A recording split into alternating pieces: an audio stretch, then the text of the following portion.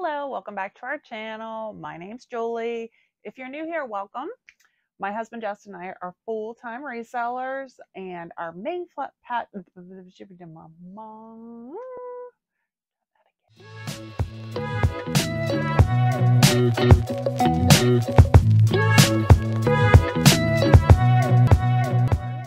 So in today's video, I'm going to go over two days worth of sales um, I didn't ship out yesterday. This is kind of becoming a trend. I used to ship out every single blessed day.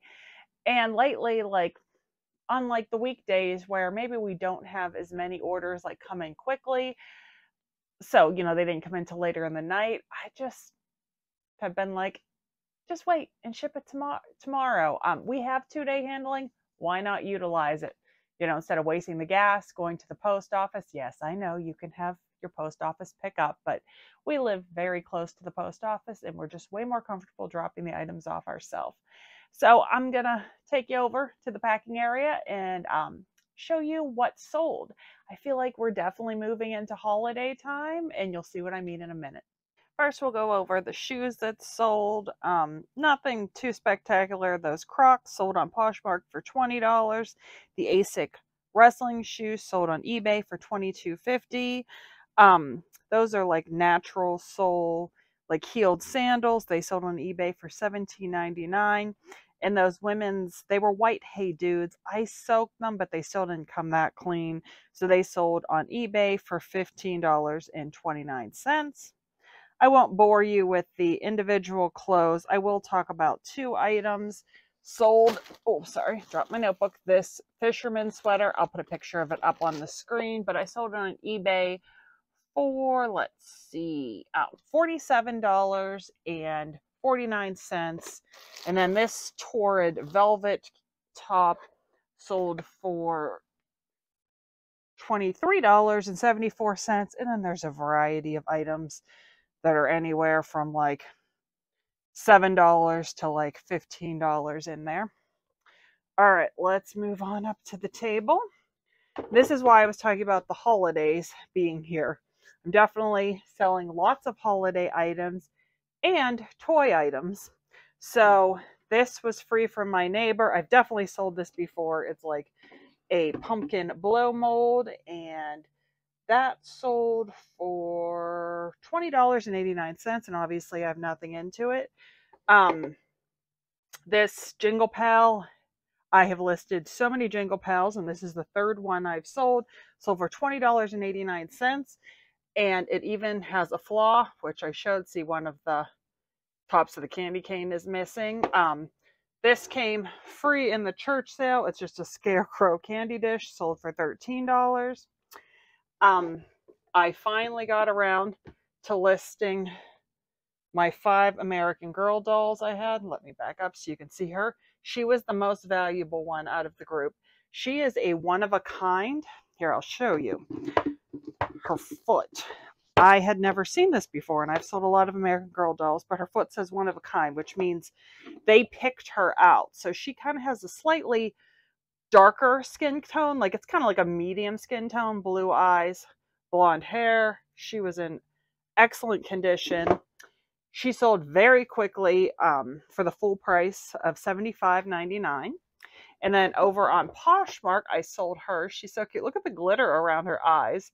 Um, she is in great shape. Just her hair is a little bit frizzed out. Um, she could use a little conditioner. I know people use fabric softener to help with it, but um, she sold on Poshmark for $48. And then just some odds and ends. I listed these helmets. I had one from every team. Um, I bought a whole jug of them at like a sale for probably like I can't remember the exact cost. I think maybe I paid like a dollar or two for the entire thing, and I've been selling them off for like six ninety nine a piece. Um, this is just a um, one's like a starfish. One's they're different shapes. Candle holders from PartyLite that came free from the church sale, and I accepted a ten dollar offer on it. This was a great sale. Um, Justin bought a bunch of beer taps. He only paid, I think, like a dollar fifty, maybe two dollars for it, and it sold for $45.59. And I just listed this yesterday. It sold really quick. The brand is Dazey, D A Z E Y. It was in excellent shape, very heavyweight vintage egg beater, sold for $17. And the last thing to sell were these weights. Um, I think Justin took a video of how he packed them up, so I can insert that here. All right, I just got done making a box for these 44 pound uh, weight plates that sold. I make a bottom box and then like a top lid that will fit on top.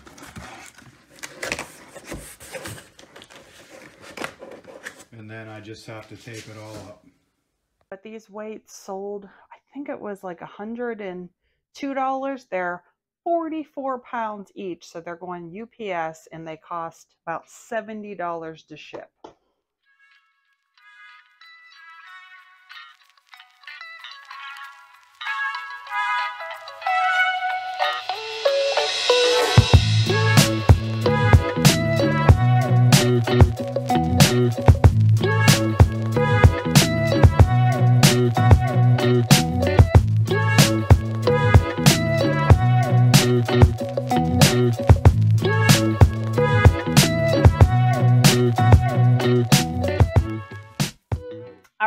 I got everything packed up for the day, and our total profits were $391.03. So, not too bad for a two day period. All right, as you guys probably know, fourth quarter is right around the bend. Um, what is today? The 20th of September is when I'm videoing this, so literally 10 days until we're officially there. So, I wanted to go over shipping supplies with you First, I'm going to start with the free ones because who doesn't like free? Um, I'm sure most of you are aware, but in case you're not, you can go onto USPS.com and purchase for free. So I guess it's not really purchase. Let's say order free priority mail shipping supplies that come right to your door. You can order them in packs of like 10, some come in 15, some come in 25. Um, so whatever quantities you want. And it normally for us takes a couple days to, you know, be dropped off by our mailman. I highly recommend getting your orders in now and bulking up. Bulking up? I think I want to say stocking up. Yes, stocking up for the holiday season because we all have known in the past there was the great um, what's this called priority mail envelope shortage of late 2020. We don't want to go there again. But all right, I'm going to go over the ones that I personally regularly use, but I'll show you their website in a minute. There are so many options. Priority mail, padded flat rate envelope. Love this. Um, I use it anytime I'm like sending clothes or even, I mean, if you can fit a box in here, you can put a box in here. Um, if I'm shipping, I would say anywhere past to the we'll say to the west of Chicago. Like I can go to Chicago to Illinois normally and it's cheaper just to send it regular priority mail, but anything past that is when I it starts to be cheaper and if I go all the way down to Florida, um for me personally in Pennsylvania, it's cheaper to use the flat rate envelope. Up next is the Tyvek envelope. This is kind of like um it's like very hard to rip almost has like fibers in it. I think it's supposed to be like water resistant. Um anytime i'm sending something priority mail that's like close to me it would be eight dollars and thirty cents is what i would pay to send it in this. But if they're all the way up to maine down to georgia and over to like um Illinois, even I think parts of Wisconsin, it's cheaper for me to send it in just the regular priority mail envelope. Now, obviously, by the name on it, priority mail, you can only use these free shipping supplies when you're shipping priority mail. Do not try to mask it, you know, put a bag around it. They're giving them to us for free by using priority mail service. You need to use it to use them ugh, for free. Wow, words are hard. So don't screw it up for the rest of us and use them when you're not sending it priority mail. All right, next box that I love. This is called the Box 4. It's about 7 by 7 by 6 inches. I used to use this box a lot. Now I'm finding I'm not using it quite as much, but yeah, it's just like a little square box. Um, up next, probably my most used one, shoebox. So yeah, it's just called the shoebox. Its dimensions are about like eight by six by 15. I use these all the time. Then for what we call board boxes, which here I'll show you, they're just kind of like, you know, long, skinny boxes like this. They have all different sizes. I personally use the 1097, 1092, and 1095.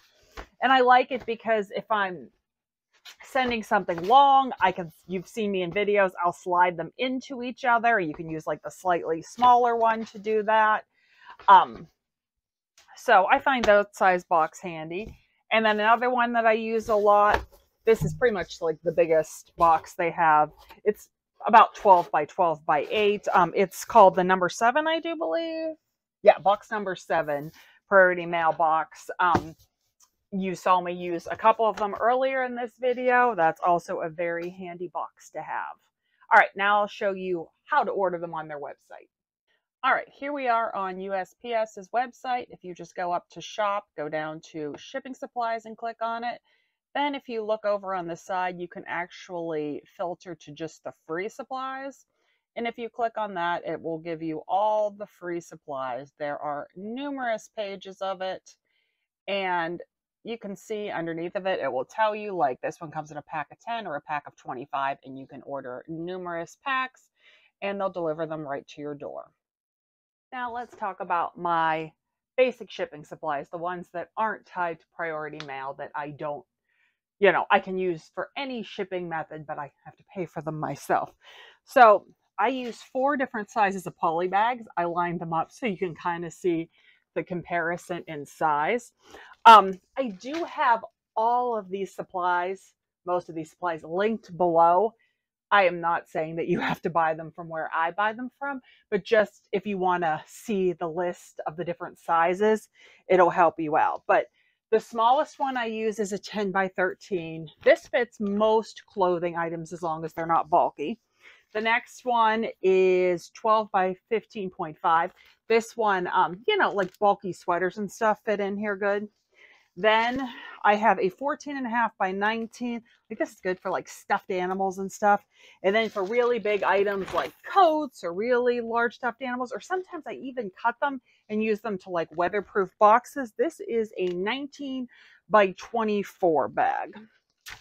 And then I also use just, I think this is a 9 by 6 bubble mailer. Um, sometimes I get them from eBay, like using my store coupon. If you're unfamiliar, um, if you have a store through eBay, um, you get a quarterly coupon to use on shipping supplies that you have to buy through eBay.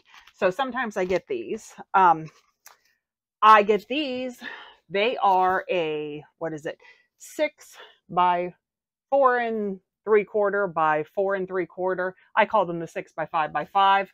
Um, little rectangle box. Love these boxes. I use my quarterly coupon to get these from eBay a lot, but I find this size to be very handy. And then this one is a six by eight by four. This is perfect for hats, like baseball cap hats, as long as they're not the super wide brim ones. Um, but they fit in here very well. So I use that. And then the last time I ordered boxes from eBay um, with my coupon, I was kind of looking for a different size and I ended up with this box. So it is a 12 by 10 by 8.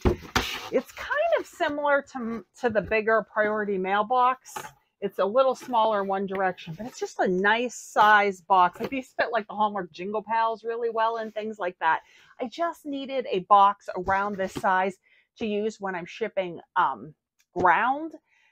And, you know, like, and I don't have a box available you know, because sometimes it's so much cheaper to send something ground than priority mail. So I was trying to replace the standard priority mailbox that I would use. So I ended up using those. Um, as for packing tape, I personally really like this Duck general purpose packing tape. Um, but I did try the American Bubble Boy. We got some rolls free in our swag bags at FlipCon, and I really liked theirs too.